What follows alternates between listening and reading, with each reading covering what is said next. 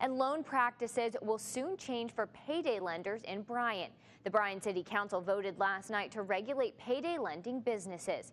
KAGS HD News reporter Monica Castro shows what this means for people seeking short-term loans. When finances become hard, sometimes people turn to a payday lender.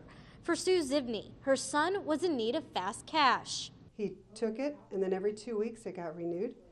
Um, I think his loan was about $500, and I think he accrued about $800 worth of fees. In a vote last night, Bryan City Council hopes to regulate payday and auto title loans. The average payday lending loan is about $450 with the average fees being about 427. The city of Bryan hopes that with the implementation of this ordinance, it will prevent consumer debt. To provide some type of parameters or boundaries on how many times the loan can be extended. For payday loans, that's four times. Each time that it's um, extended, 25% of the principal payment needs to be paid down. The loan cannot be more than 20% of one's household income.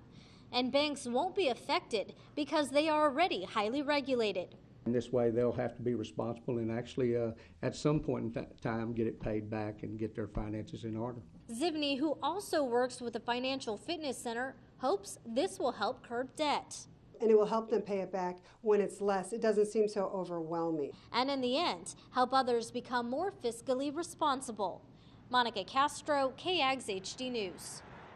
This ordinance will go into effect August 1st. The Consumer Service Alliance of Texas released this statement over the ordinance. Quote, members of the Consumer Service Alliance of Texas are disappointed that the Bryan City Council passed a one-size-fits-all ordinance that conflicts with current Texas law, restricts consumer access to short-term credit, and will likely force some borrowers into higher cost alternatives.